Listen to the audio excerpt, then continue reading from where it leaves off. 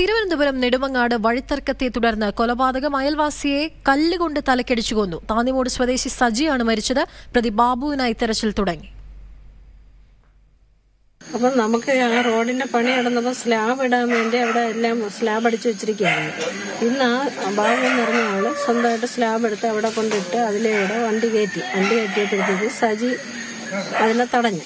തടഞ്ഞാണ് ഇവിടെ വിഷയം വന്നത്. അങ്ങനെ ഇവർ രണ്ടുപേരും കൂടെ അങ്ങോട്ടും ഇങ്ങോട്ടും അടിയായി. ചുരുക്കം പറഞ്ഞ അത് ആ, ഈ ഒരു മരണത്തിൽ കലാശിച്ച്.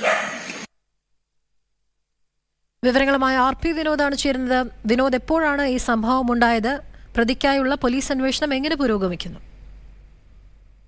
അമീന ഒന്ന് ഉച്ചയ്ക്ക് രണ്ടരയോട് കൂടിയാണ് ഈ സംഭവം ഉണ്ടായത് നേരത്തെ തന്നെ ഈ പഞ്ചായത്തംഗം പറഞ്ഞതുപോലെ തന്നെ നേരത്തെ തന്നെ ഈ സജിയും ബാബുവും തമ്മിൽ വഴിത്തർക്കവുമായി ബന്ധപ്പെട്ട് വലിയ തർക്കങ്ങൾ നേരത്തെ തന്നെ ഉണ്ടായിരുന്നു. ഇന്ന് അവിടെ ഒരു സ്ലാബ് ഇടുന്നതുമായി ബന്ധപ്പെട്ട് വീണ്ടും ഇവർ തമ്മിൽ വഴക്കുണ്ടായി. അതേസമയം ഈ ബാബുവിന്റെ ഭാര്യ അതായത് ഈ സജിയെ തലയ്ക്ക് കല്ലുകൊണ്ട് അടിച്ച ബാബുവിന്റെ ഭാര്യ സജിയെ കമ്പുകൊണ്ട് ആദ്യം അടിക്കുന്ന ഒരു സാഹചര്യത്തിലേക്ക് പോയി. തുടർന്നാണ് ഈ ബാബുവും സജിയും തമ്മിൽ നേരിട്ട് കയ്യാങ്കളിയിലേക്ക് കാര്യങ്ങൾ എത്തിയത്.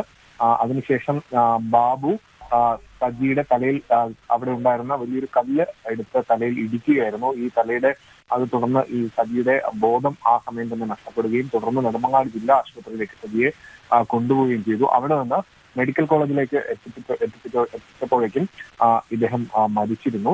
ഏതായാലും നെടുമങ്ങാട് പോലീസ് ഈ പ്രതി ായുള്ള തിരച്ചിൽ ഇപ്പോൾ തുടങ്ങിയിരിക്കുകയാണ്. ബാബു ആണ്. ബാബുവിനെ ഇതിനുശേഷം ഒളിവിൽ പോയി. അയാളെ കണ്ടെത്താനായിട്ടും നെടുമങ്ങാട് പോലീസ് ഇപ്പോൾ അറിയിച്ചിരിക്കുന്നത്. അമീൻ. ശരി തിരുവനന്തപുരത്ത് നിന്ന് മാർ പി വിനോദാണ് വിവരങ്ങൾ നൽകിയത്.